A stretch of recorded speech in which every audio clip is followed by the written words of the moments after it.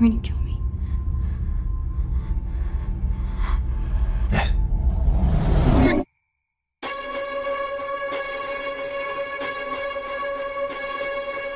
How do you do it? I mean, it's like your job, right? Someone gives you money and says murder this person, and then you just you go and you do it. Do what I have to do. Why do you want her dead? Father betrayed me. He had to be punished. You don't know what you're doing with this girl. But one way or another, this girl will die.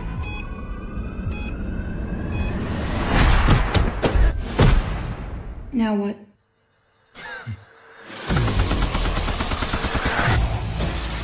Go!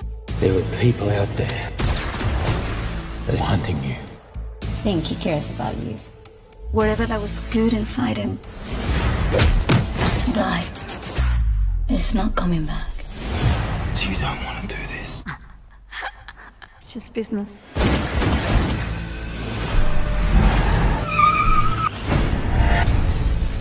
You should get down. You have such potential. Such talent. You're a hunter.